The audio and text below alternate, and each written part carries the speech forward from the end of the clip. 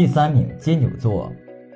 就算你拼尽毕生功力去讲一个笑话，金牛都会问你有啥好笑的吗？他们只在自己的世界中，只对吃的和钱感兴趣。金牛不管自己富不富裕，都是一副万年冰山脸。有钱怕别人借，没钱就算算怎么花省钱。第二名，处女座。